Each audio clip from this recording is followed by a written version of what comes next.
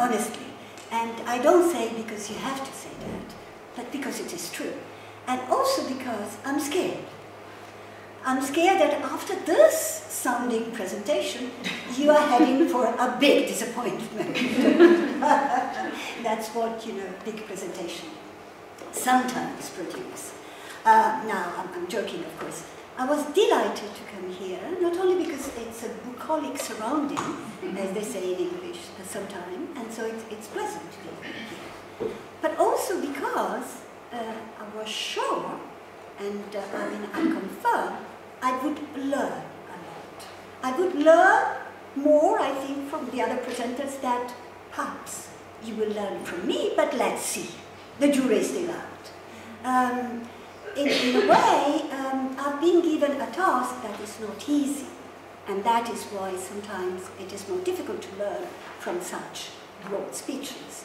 And that's because I've been given the task to talk about gender, I mean, gender and economics in Europe which is, of course, you can imagine, a huge thing, right?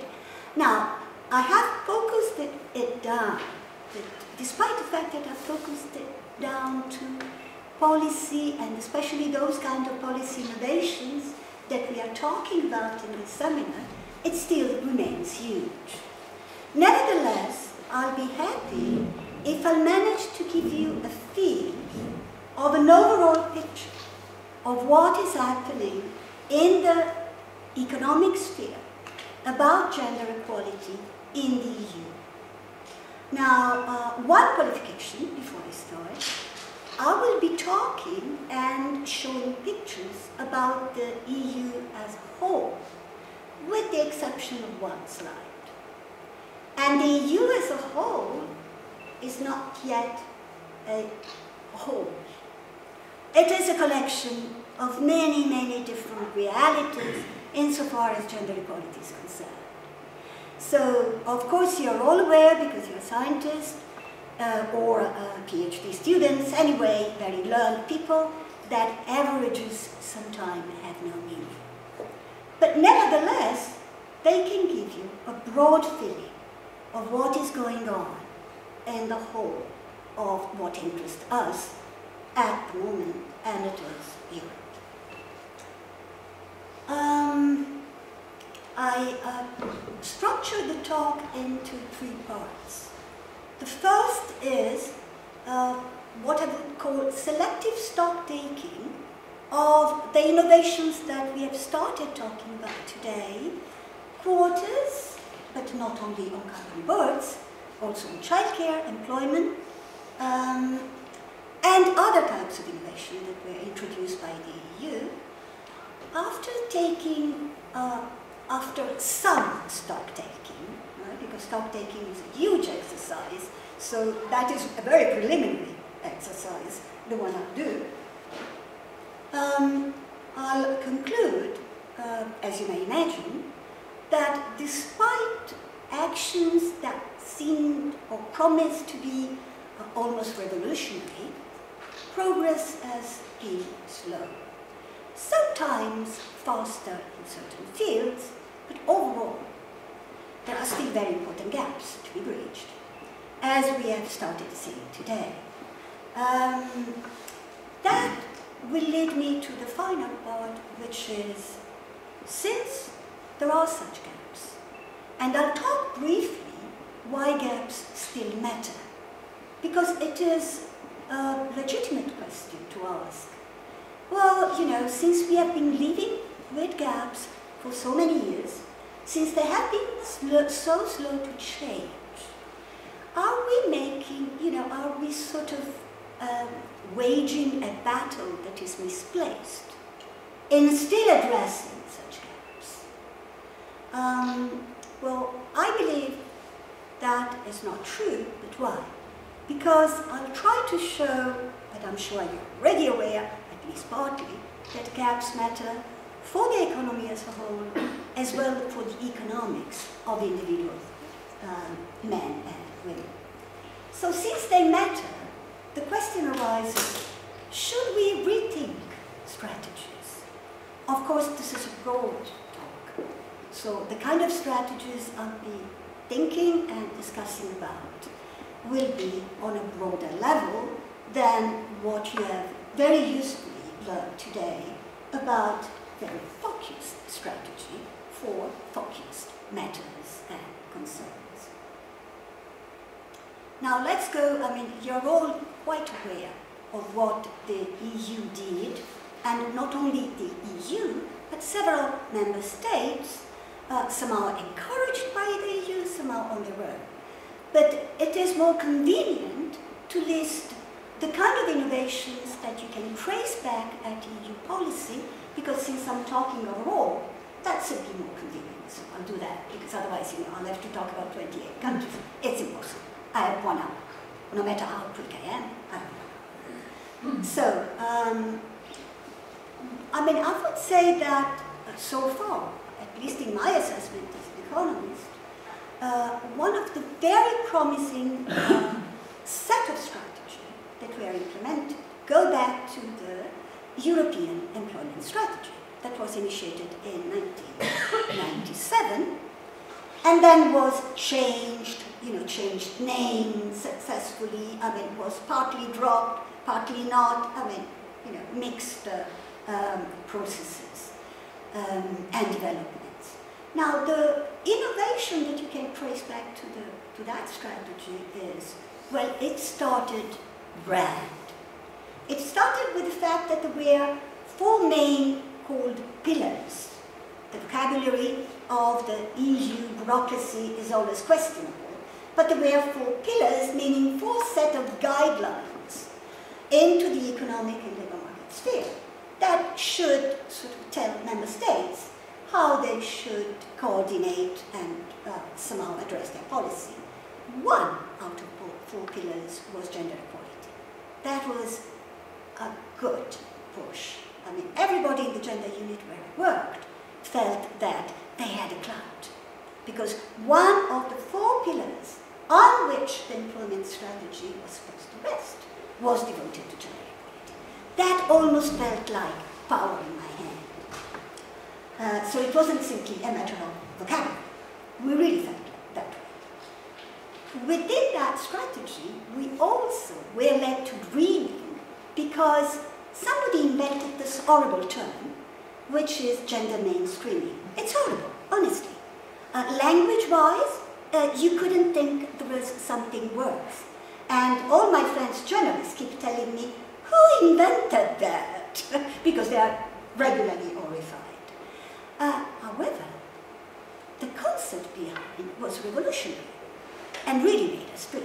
Because mainstreaming meant that each single policy of some impact in all member states had to be audited, vetted, monitored for its impact in gender equality. Of course, not all policies would have to push gender equalities, but at least they should not push it behind. So that was gender mainstreaming. We dreamt about it. I can anticipate that. Um, the dream has not come. Let's put it that way. But I don't want to be too pessimistic because other things have succeeded. Then the last uh, invention, which we recommend in today for company and boards, was numerical targets. And still, it is one of the most uh, effective. And we'll see where it was placed, but uh, I mean, I'll comment on that later. Then there are a list of other directives. I'll go over the one on 2004 because that's important, but uh, I would find it hard to comment on the economics of it. Uh, the one I want to uh, again list briefly is the 2010 directive extending the parental leave by one month to four months. That's the minimum you could give. Parental leave paid or unpaid. That's the key. And so-called daddy's leave, as we call them, meaning non-transferable leave. and already somebody uh, did me a favor explaining what it is, but you all know what it is. However, as you know very well, that was encouraged, not mandated. So that's the problem, we'll comment about that. Um, recently, the Women on Board pledge Again, not a directive, but uh, it had the effect of various member states, as we learned, and something that you may not be too aware of, and that's, but that's important, and that's the unisex rule in calculation of insurance premiums and benefits. Now that's important for pension, for women in pension. Why? You're all aware that women live longer than men, at least at the moment. Things may be changing, but at the moment. And um, if you are an insurer, and I give you a sum that I expect to cash back when I, in old age as benefits, right? If you're a private insurer, you're tempted to do what? You're tempted to take into account that a woman lives longer than a man, and therefore to reduce the sum that is given each year because the total sum of expected benefit might be, must be the same, right? Well, this particular directive prohibits that. Note that in the USA, for example, that is not the case. There is no unisex rule in calculating benefits. Okay? However, that's 2012, so we don't expect this to have yet um, uh, an impact on the figures that I showed, simply because it is late enough. Also, because this concerns private pensions, which are a small part of our pensions, right? Still, on a symbolic term, it's uh, important. Now, let's look at uh, the innovations uh, that I anticipated worked most. The setting of targets, right? So let's look at employment, because employment was targeted, I mean, they put figures on how much women's employment should be in a given number of years, right? Um, employment was targeted by the, uh, the, the European uh, strategy. How did this target work? Well, first of all, let's look at what happened to employment of women vis-à-vis -vis employment of men in this period that is of concern to us, and that is roughly 2000 onwards, right? So sorry, wrong. These are the men. And you can see that, I mean, the, you know, this line, see, is the zero line. So whatever is above is gains in men's employment. Whatever is below is losses in men's employment? So I'm looking at variation. Um, now, these are the women, again, these are the women. Okay, the grey is the women, and they are superimposed, some up, if you want, in, in area with the men, right? So now concentrate up to sort of the beginning of the crisis, um, right? Which is 2008. I'll try to touch this I can, right?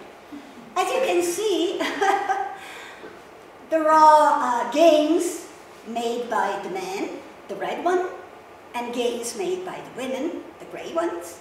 And if you can roughly assess with your eyes, the gains made by the women are slightly larger than the gains made by the men. But the real difference comes in the prices.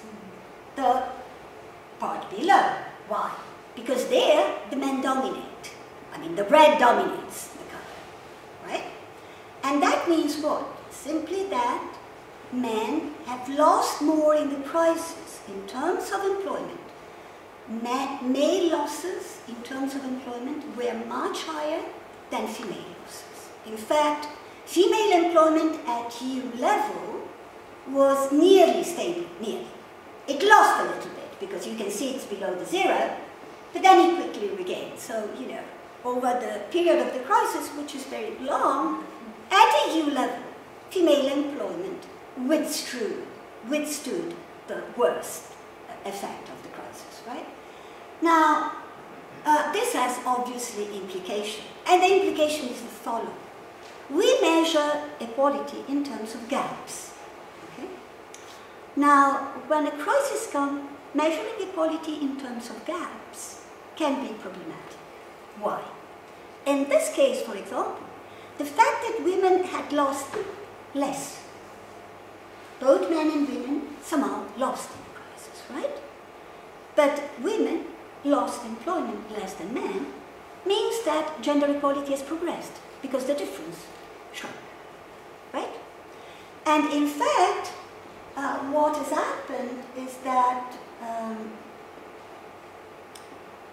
the gaps in employment as measured by the difference in the percentage of men who work and the, in the percentage of women who work, the so-called female employment rate and the male employment rate, well, that difference has shrunk.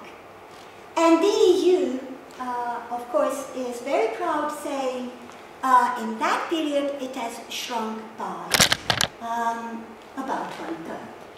Yes, but that is because women lost less in the crisis. So in a way, both men and women, thanks to the crisis, were worse off. Women a little less than men, and that, however, in statistical terms, is progress. If you measure equality in terms of gaps. Okay? That's information, nothing more. I'm not commenting more than. I'll leave it for the discussion. Now, there has been progress, however it was made. Okay? Now let's ask, um, how close are we to the targets that have been set? If there was progress, we must know how quickly we reach those targets, right? Now, the current target, the target that was set a few years ago, but the 2020 uh, strategy target for the EU is 70% of both men and women in employment. Okay? So 70% of women should be in employment. Let's talk about women only. Um, and uh, the date uh, should be 2020. Okay? That's the strategy. Okay, now, um, it's easy to do projection. It's a straightforward. And what do you discover? You discover that, I'll show you if I have the slide. Here it is. If you take the average rate of growth of employment over both uh, the crisis and the pre-crisis period, meaning if you look at the shaded area, right? Can you see the shaded area? And you can see a line over there, right? If you base your calculation on what has happened in the shaded area and project it forward. So you say, okay, in all those years, how much has female employment grown? Before the crisis and during the crisis, altogether, right? The net. And then you project it. Well, it will take up to 2039 to reach the target of 75%. So we are still a little bit away, to put it mildly. Um, unfortunately, the bad news uh, are not yet over. Why? Because that is a European average. So I'm talking about EU as a whole, right? But as I told you, there are many EUs, or rather, many European countries. And in this country, you have hardly felt the recession. In the Nordic countries, they've hardly felt the recession. They had one before, but they've hardly felt that one. In the south of Europe and in other countries, some continental Europe, they have felt the recession. Now, if you take the countries where the recession was hardest and where austerity measures hit most, and uh, uh, well, these are, as you can imagine, southern countries, plus Ireland, because I mean I don't include Iceland um, here. Then you uh, see the following. If you take the so-called Gypsy, uh, group of countries, GIPSY is very ironic, of course, and it's, but it stands for, it's, it's better than PIGS. This was the acronym before, right? So Gypsy is an improvement on PIGS, right? Um, the PIGS was created in the financial sector. Gypsy, I don't know, I haven't found um, anyway, that's what they, they, they, are known in sort of kind circle. So that's Greece, um, Italy, Portugal, Spain, and Ireland. Okay, that's what it stands for. You can see that if I do the same exercise as I've done for the EU, those countries will reach the 75% rate in 2068. Right? The reason? Well, these countries, the crisis in a way, hit most and hit most female employment, where female employment was already low. Right? That's why the, the line for these countries is below. Okay? And also, if you look at the lines in the shaded area, the paler line uh, has a decline which is more visible in crisis, meaning in those countries female employment actually fell during the recession and has not recovered yet. It's not recovered, right? So that, that is, so in that case, even talking about, well, you know, if you think of Europe, maybe if we are patient and we wait until 2039, we'll be there, right? Well, when you have such a different Europe, does such average calculation make sense? Apart from rhetorical exercise as the one that I'm obviously making here. Okay? So uh, there has been progress, but I mean, that, is the 75% line, so doesn't add anything to our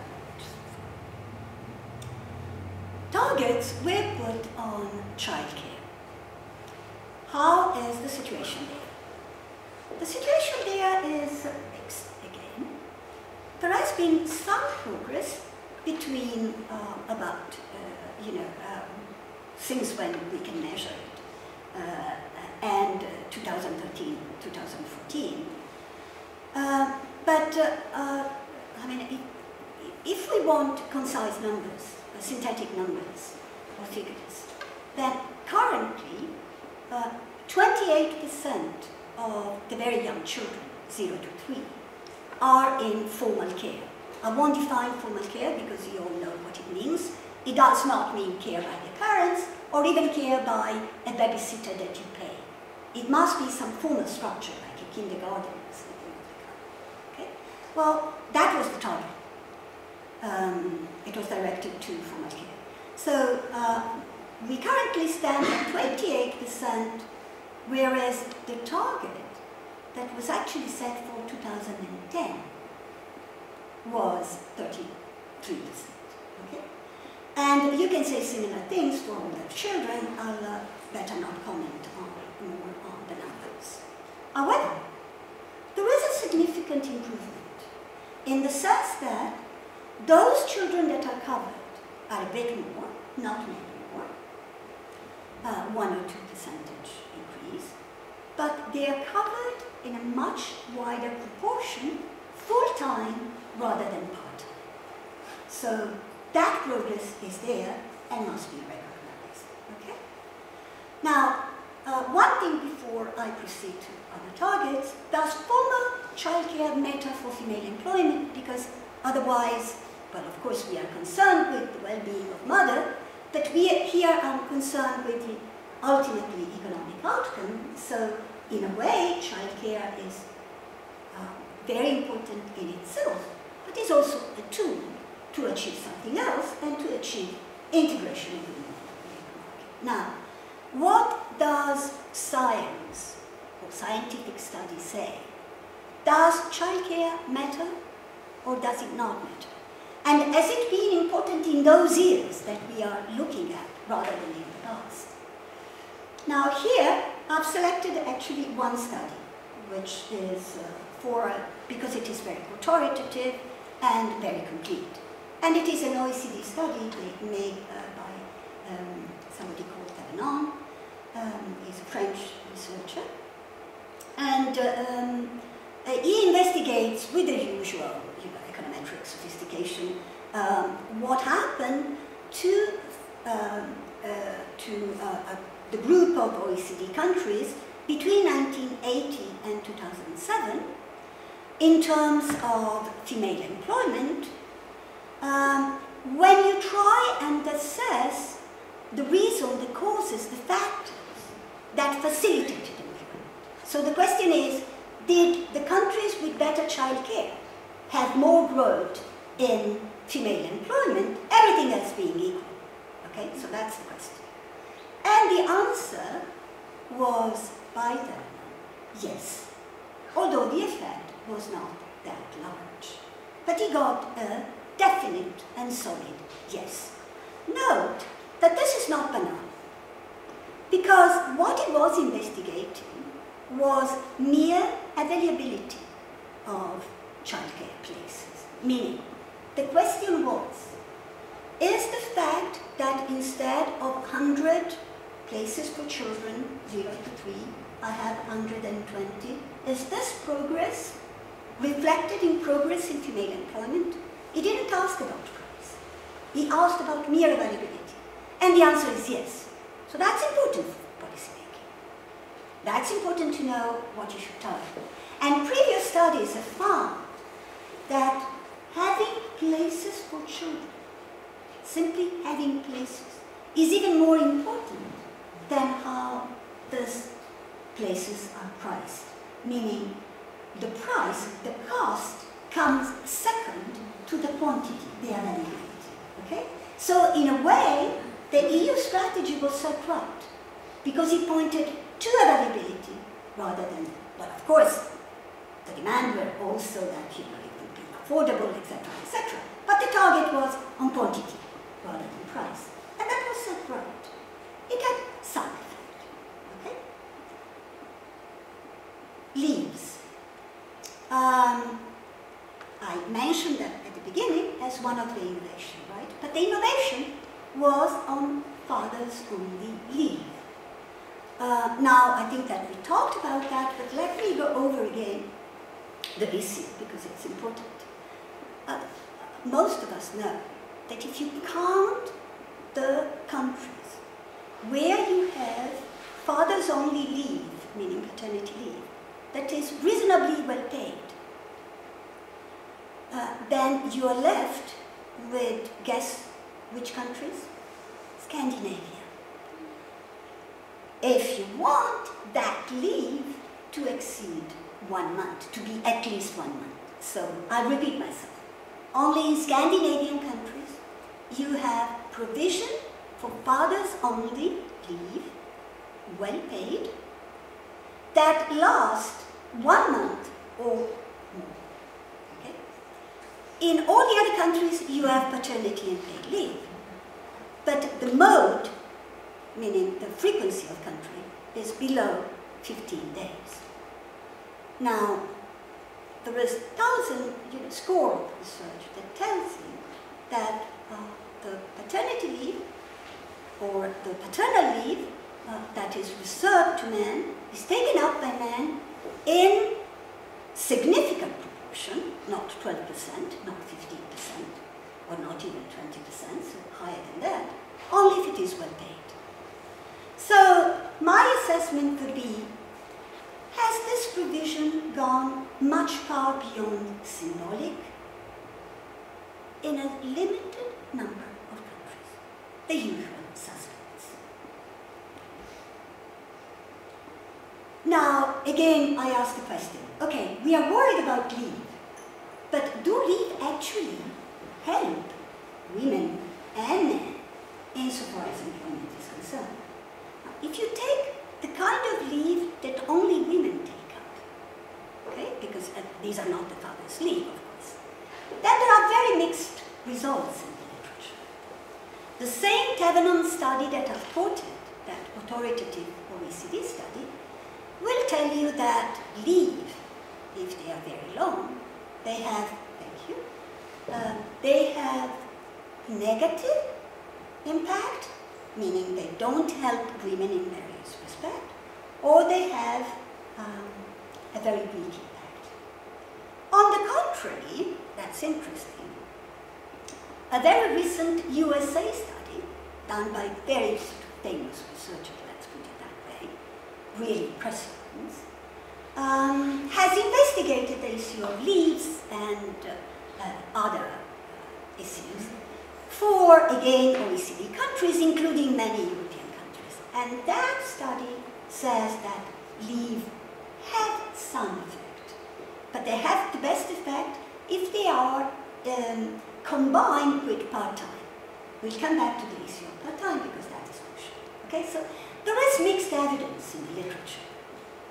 But on the whole, uh, nobody, at least in the economic profession, is really convinced that leave are the best option to foster employment.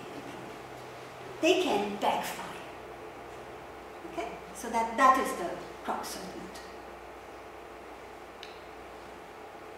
Um, the last question that I want to ask with respect to employment targets is, did target setting per se actually influence female employment? I mean, targets were set on childcare, there were provision for leave, and then targets were set separately on employment. What is the rationale? If you are targeting childcare to increase female employment, why do you also target female is that clear?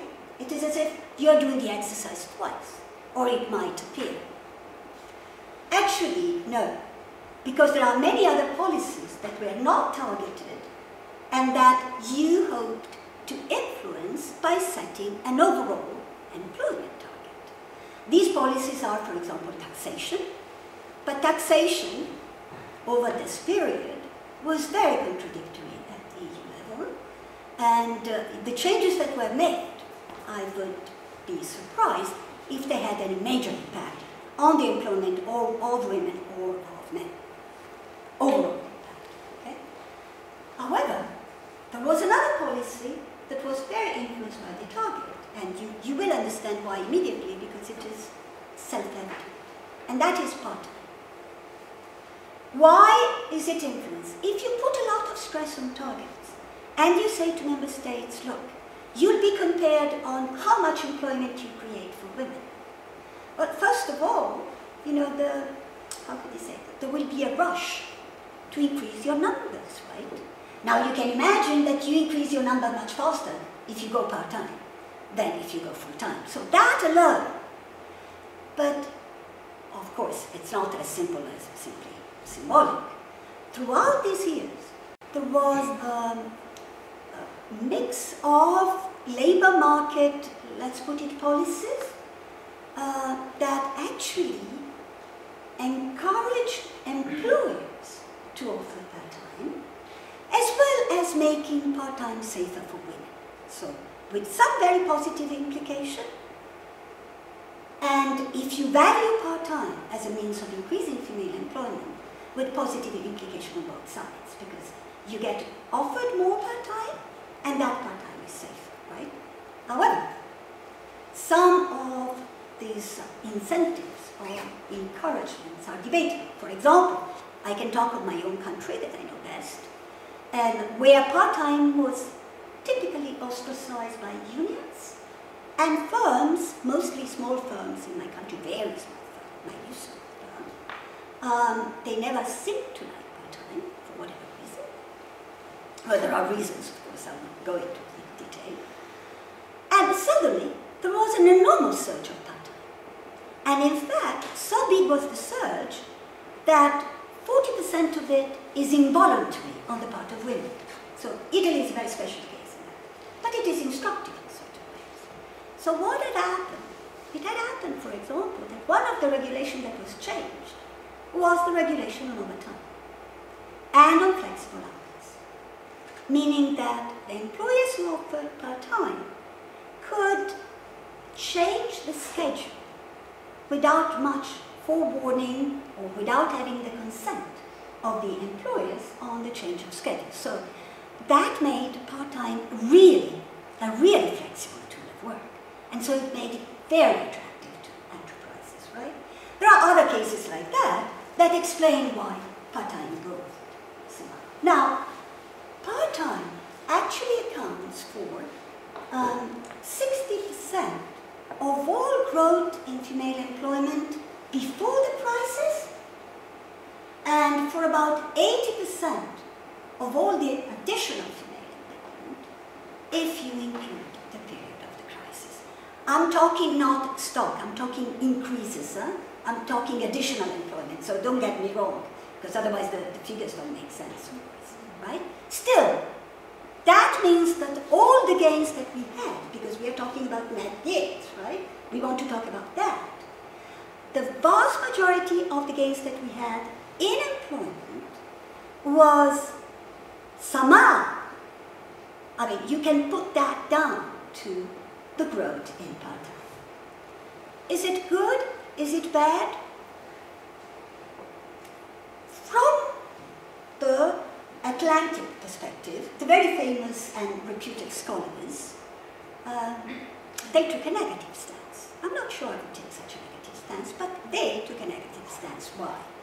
These scholars compared what, how the US is doing and how Europe is doing. In the US, female employment is going down. Um, in the UK, it's going down. So big debate in the USA, why is it so, blah, blah, blah. So these, uh, you know, scholars undertook this study, which I already quoted, and they concluded um, part-time and leave were the sort of policies that explains why Europe is growing into female employment while the US is not. These policies, therefore, had a good result in terms of quantity of employment because if you compare the two blocks, right, uh, US is having the worst. But they say that didn't come as a free lunch. There was a cost for that. And they argue uh, that actually the fact that most of the growth in employment is part-time means that uh, a substantial part of the new jobs are inverted comma, and I'm quoting them, I'm not saying it, poorer quality jobs. They offer less money because part-time tends to be penalized in terms of pay, right? And they somehow uh, prevent full integration of women in the economy. That's something you may share or you may not share, right? But it's something to be considered. The role of part-time in this period is really one of the major ones that you have to consider, um, whether you uh, agree with these uh, scholars or not. Now, before going back to part-time and the consequences of, of part-time on something else, right, rather part-time and employment, let's look at company boards. You know, you all know the story, thank God there was a session uh, before, but I think I have to add a little bit. But first of all, this is the figure for the EU of the increase in women on company boards. As you can see from 9% uh, EU total, um, in 2003 it went to the current 20%. Now that's not what is interesting uh, in this figure. What is interesting in this figure is the two trend line. I mean, if, if you look before 2011, when the pledge was made, okay, um, the growth was more. After 2011, you can see there are two lines, one flat and one more sort of incline, right? And uh, uh, the, the, uh, that means that without uh, uh, you know, any action, even encouragement, because it didn't amount to much more than that, it was not mandatory, um, at the EU level, maybe that some of this growth would not have happened. So again, targets worked. But, um, and uh, uh, I should have mentioned, the pledge was for 40% women on board uh, by uh, 2020 or 2030. I forgot. I go back to the slide. I forgot, that's um, uh, a detail. We are away from the 40% uh, target. But still progress, you can see, I mean, from the lines, was undeniable. So the question is not whether the policy was successful. It was, full stop. No ifs and buts, okay? The problem is, uh, will it be, will it percolate, percolate down to uh, other women. That's what you know was discussed this morning, well, earlier, as will it fix problem for other women. Now again, there was a study here uh, on Norway by one of these American uh, scholars, and it is a, a very comprehensive study. And they found that in the period under observation, which is not very long, but Norway has the longest implementation period, they could not find some, I mean, strong evidence that benefits percolated, percolated down from the top to women at other ranks in the company, or staff people, or women below. And they took several indicators. They took working conditions, they took pay, they took several indicators, right? So here, the jury is really still out. We don't know whether having more women at the top will really fix the problem for a substantive number, because these are very few at the top, of other way. So we don't know whether the symbolic achievement will translate into substantive numbers for gender equality at other level. Having said that, I will um, uh, give an assist to the quotas because I've just heard this morning, I'm sure you're all following the UK election, or at least I'm following because I lived there at one point. Um, they said that the percentage of women in um, the new parliament will be around one third, which is apparently unprecedented in the UK. Now, if that is true, because of course calculation is still you know, provisional, uh, that means that perhaps there is, how can you say, a spillover effect of the successful, you know, uh, achievements of quote on boards into politics, uh, even in, it could be um, so, as I said, you know, uh, the jury is still out. Okay, I think I've said enough about employment, so I'll skip that. Now, uh, the other major indicator of gender equality in terms, in, in, in economic terms, is of course earnings, right? We discussed earlier about the gender pay gap. Now, the gender pay gap is the rod that the EU and now many member states use to uh, assess gender equality in earnings. But they are changing their mind, at least at the EU level. Why? Because that measures the difference in hourly. Now, uh, that is not the biggest difference, by far. It's one of the smallest. Why? Because if you compare earnings for women, the average, right? The average, taking all women, okay? All women of working age, okay? You take an average, a synthetic average, and you compare it to the average again a synthetic picture, right? Then you'll find that in the average women, you have three types of women that may bring down the earnings for the lot. Meaning, some women don't work at all, so they have zero earnings. A lot of women work part-time. Here is the part-time bit, right? And therefore, they work less hours. That means less earnings. Last is what is called the gender pay gap, meaning on average there is a 17% difference on an hourly basis, right? But if you sum them up, these sources, you come up with a very different figures. And that is figure it's 37%. So the average woman earns, if you take women to comprise those who don't work, right, takes home somehow 37% less than what the average man does. That changes the pictures, right? Consider. Now, that is a new indicator that, the, that has just come out, uh, well, two years ago, and it's called total earnings gap. So I didn't have to invent anything because it has already been invented. And that's a statistic that you can find online.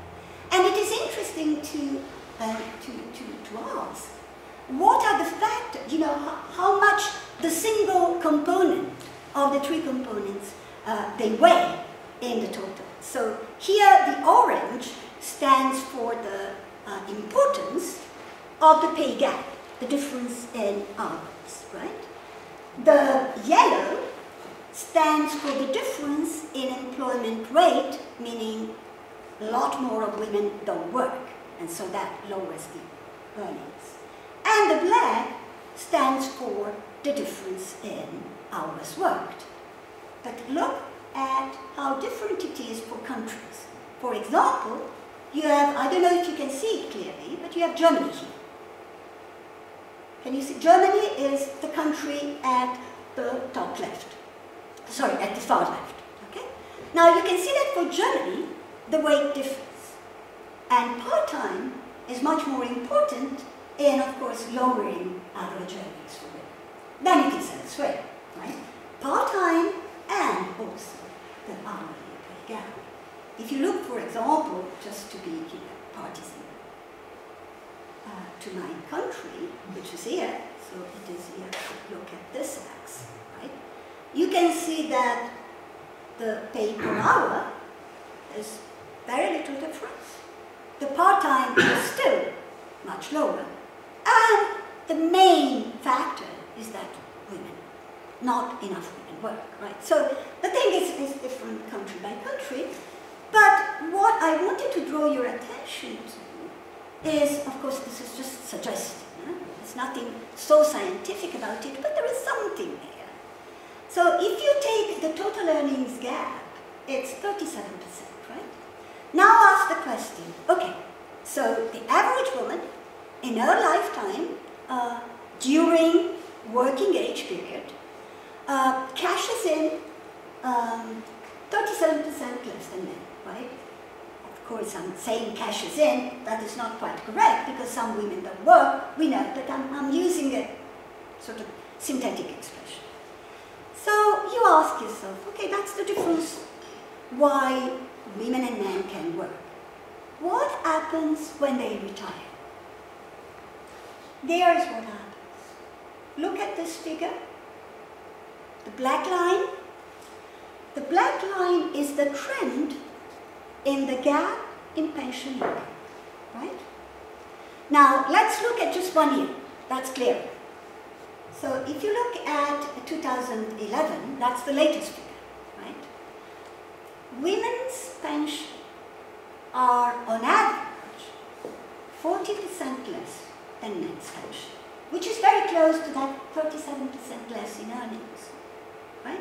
So that means that whatever magnitude you sort of, uh, um, um, whatever magnitude for differences in earnings are there for women work, a similar kind of magnitude, if things don't change, you'll have to expect for pension when they retire. Okay? Now, the question is, okay, we have seen all these figures, and some may not all, uh, not know all of them, but now let's go back to, um, to economics. Does it matter? Right? Since we have been living, even if we didn't know the figures, the figures were there, we have been living right? So does it still matter to have those gaps in employment, in earnings, in pension, blah, blah, blah? Well, uh, economists are tired of hearing things, the story. They matter for growth, and there are, I have to rush, uh, there are uh, studies that, you know, measure, for example, that if the gap in employment rate uh, were closed between now and 2030, um, a lot of countries could experience um, half a percentage point more growth than they would without this equality trend.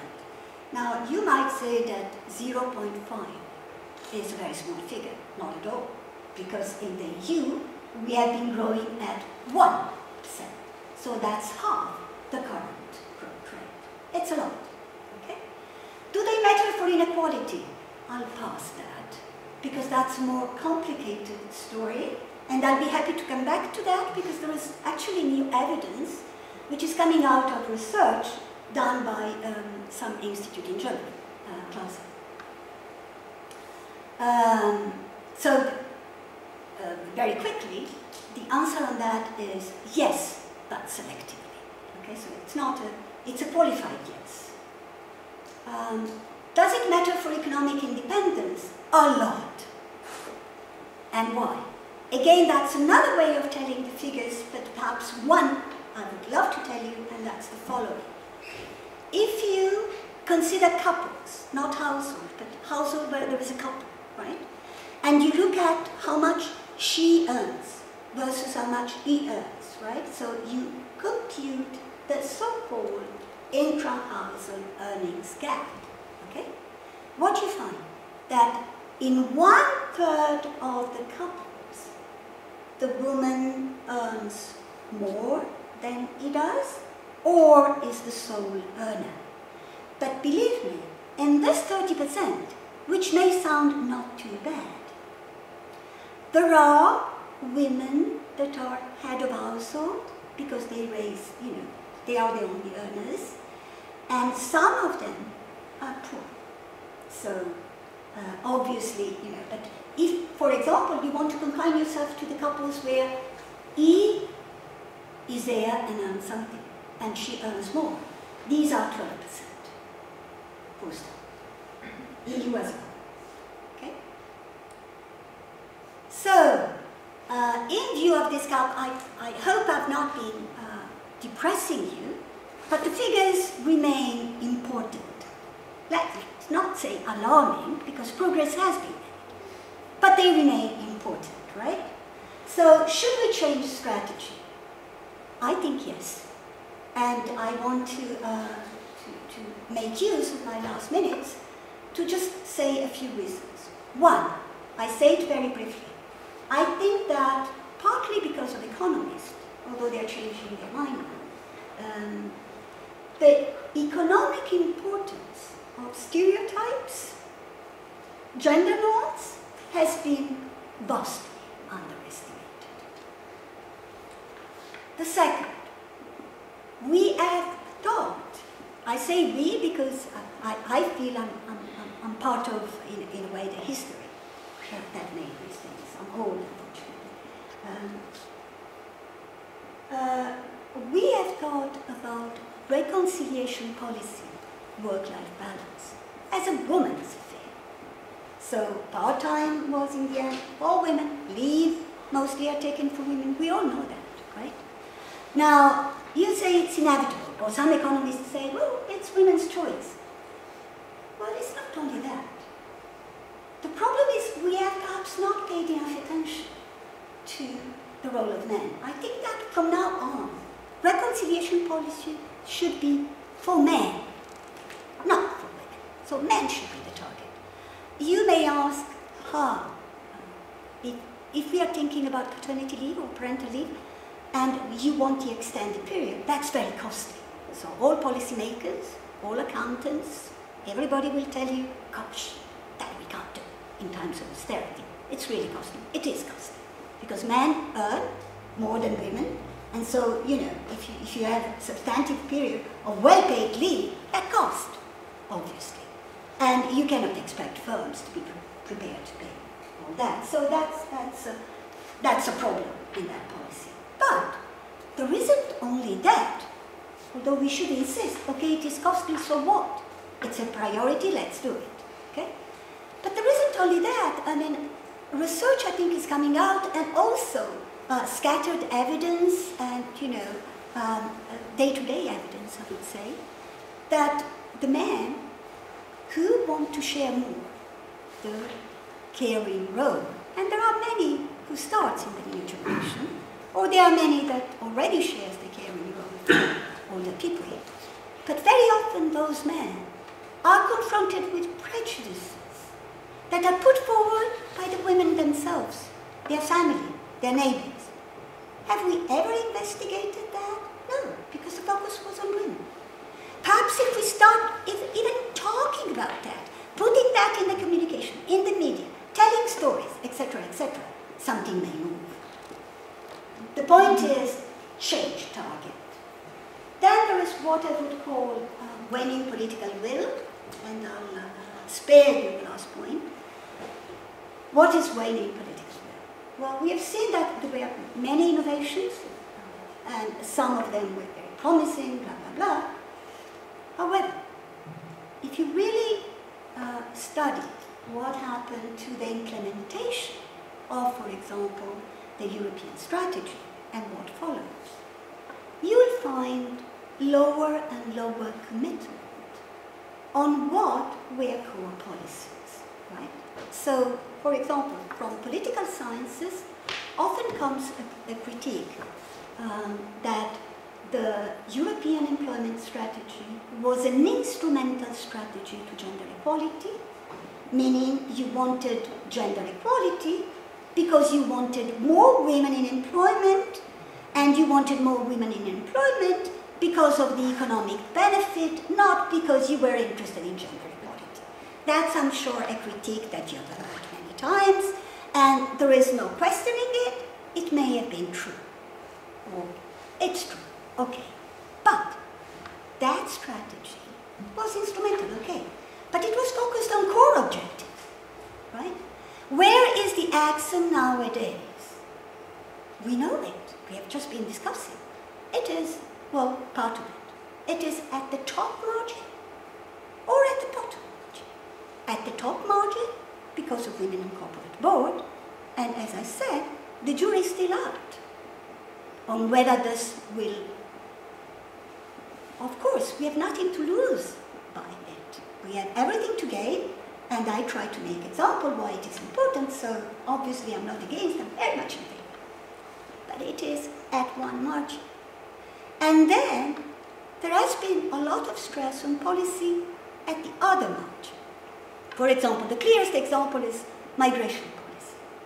If you take migration policy, you know that a lot of women have become migrant on their own, instead of following their husband. That has been the novelty of the last two decades, right? Now, um, if I mean, uh, uh, if you uh, analyze migration policy at the EU level, you see that, for example, a lot of the action, the study, the money, focus has been on the real downtrodden, you know, the people exploited for sexual exploitation, trafficked, or the really uh, super exploited migrant, right? Now, for example, there is an issue of migration in women that is very interesting, but completely overlooked, which is the fact that many more women with qualification are migrating within the EU, right? Now, of course, that poses a specific problem because migration policies, like all other policies, was normally targeted on the problems there. It was drafted with sort of men in mind, right? So for these women, we need sort of provision that address specific needs because these women too want to form a family and children, blah, blah, blah, and very little is in place. In fact, the issue is hardly talked about. Now, that is a sign, you know why? in a way, if you address the downtrodden, the very exploited, maybe you are not effective, maybe that's a question mark, it's very difficult sometimes to be effective, but you've got a lot of political consensus. Everybody agrees from left to right. So you can mobilize resources. That's one way of keeping gender equality sort of being talked about in a way that is politically feasible, right? And if you look at women at the top, well, as we heard this morning, setting targets for this specific objective well, will guarantee you or can guarantee success much more than if you set targets on employment because that's much, much more difficult to achieve. It's much more complex problem. So because of this um, I mean, going from, if you want, instrumental but core policies to policies of gender equality of, at the margin, well, I think that should make us think, and we should go back somehow, or push for going back to core policies. Not the policies of the past, perhaps, but certainly core. I stop here because that's uh, perfect. Can't believe that. well, I cut out some, some other issues, but I think that uh, I've said enough to uh, sum up. And thank you very much for your patience in listening.